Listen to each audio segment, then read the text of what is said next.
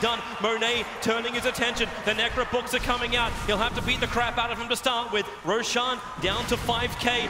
VP, they need this. They need the Aegis as well as the Cheese if they can have any chance against LFY being two racks down against him. And it looks like for the moment, rolling boulder, Ahfu, he jumps in. Where's the Aegis? He snatches it! Ahfu!